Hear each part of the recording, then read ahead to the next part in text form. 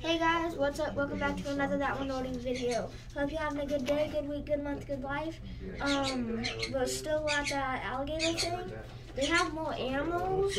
Um, this is a rabbit and um, it's a chinchilla actually, but it looks like Peter Rabbit, so I'm calling it Peter Rabbit. Even though the name is Chi Chi, I call it Peter Rabbit. Okay, bye.